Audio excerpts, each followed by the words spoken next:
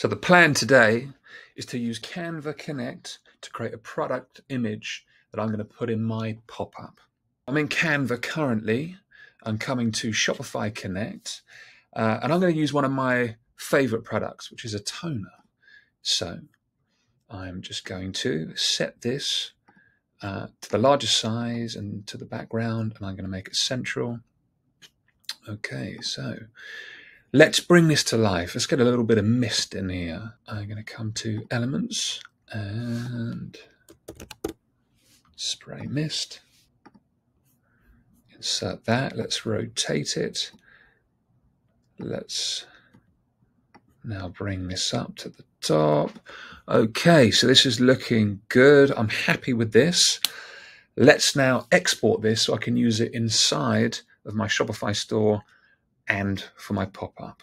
Files, export design to files.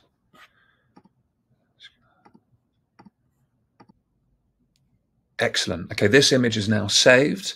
So I'm coming over to my Seguno pop-up. I'm going to customize and I would like to introduce this image into the pop-up. So I'm going to come to my theme settings, into the background, come to select image, and because that's a file that I've just saved uh, from Canva, I can find it directly here within Seguno.